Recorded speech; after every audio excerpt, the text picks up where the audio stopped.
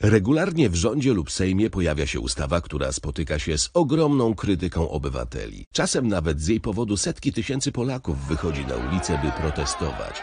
Problem w tym, że każda władza może zignorować te protesty. Wściekli obywatele się radykalizują, nieakceptowane społecznie prawo pozostaje w obiegu, a podziały między Polakami tylko się pogłębiają.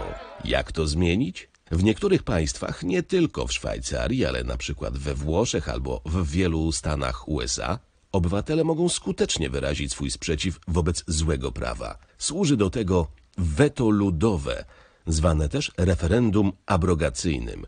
Jeżeli władza przeforsuje ustawę, która nie podoba się ludziom, ci mogą zebrać odpowiednią liczbę podpisów i przeprowadzić ogólnokrajowe głosowanie, w efekcie którego nowe prawo zostanie odrzucone lub zatwierdzone. Nie potrzeba tu zgody parlamentu ani innych władz. Referendum jest rozpisywane na wniosek określonej liczby obywateli. To rozwiązanie sprawia, że władza zastanowi się dwa razy, zanim uchwali prawo, które może zmobilizować wyborców do protestu i podjęcia inicjatywy referendalnej. Wzmacnia znaczenie konsultacji i namysłu przed uchwaleniem nowego prawa, a tego zdecydowanie nam dziś w Polsce brakuje.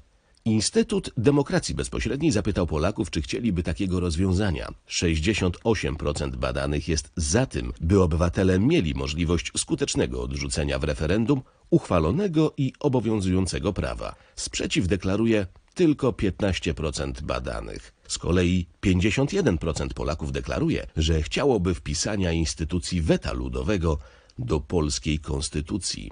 Przeciw jest zaledwie 25% z nich. Chcesz wiedzieć więcej? Subskrybuj lub bezpośrednio.pl na YouTube i obserwuj nas w pozostałych mediach społecznościowych.